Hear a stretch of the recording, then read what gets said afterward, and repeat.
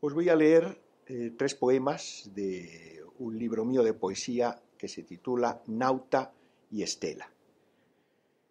Siempre quise, sentado en estas rocas junto a este mar, ver las flores que crecen en el éter, escuchar el deje de los días, y sentado y mirando, a lo lejos siempre aparecían como horizontes, valles o navíos, recuerdos invocados y fragancias, el gesto desvaído de una mano, de la que pende un guante y un susurro. No buscaba comprensión, solo sentido. Y era grande el asombro con que me iba hundido en estos pensamientos a las olas innumerables del olvido. Solo estaba allí todos los días, soñando lechos de estrellas y abandono, con el silencio, con un presentimiento vago de estar allí no estando en parte alguna. El segundo poema se titula Los diez mil. Aquí yacen, caminante, los diez mil. Coronados de flores y miradas, un día de fuego en el verano, partieron a remotas tierras. Nadie conocía su designio. Todos ignoraban qué Dios, pues era un Dios sin duda, un Dios grande, nunca oído, y mantaba su entusiasta su innúmero cortejo. Cruzaron ríos caudalosos infestados de bestias antiguas y dañinas de ojos brillantes. Franquearon escarpadas, quebradas cordilleras, y en las cumbres, llenas de nube y de silencio, labraron con los ojos lejanías. Larga estela de huellas y vestigios trazaron en la nieve interminable de páramos desiertos, inhumanos, y atravesaron regiones y países de los que los atlas nada dicen cuántas noches largas y húmedas de niebla, febriles, depositaron sus fatigados miembros en la peña o el rizo de la grama, y soñaron en bosques intactos, vírgenes, no hollados.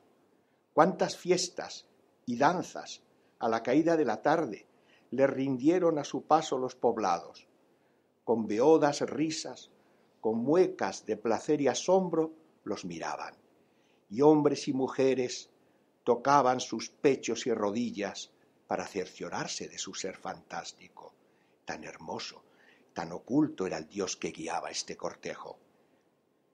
Giró el orbe, ampolla de sudor y arena, y sin saberlo llegaron al punto de destino, una noche.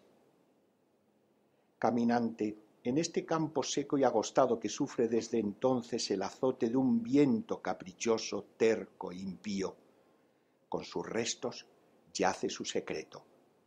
Un ejército de manos codiciosas, cegadas por la rabia y el acero, segó su sueño, sueño innumerable, aquella noche.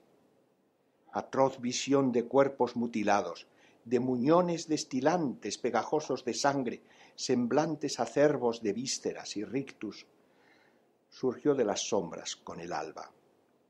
No lo vio el sol, sólo la bruma y el vuelo triunfante de los buitres. Pasaron, sí, pasaron los diez mil, pasaron como un soplo. Aquí yacen, aquí, prisioneros del sueño más lejano, de la niebla última, intocable, sacrificados al olvido, sombra esquiva, extraña, poderosa. El tercer poema dice así.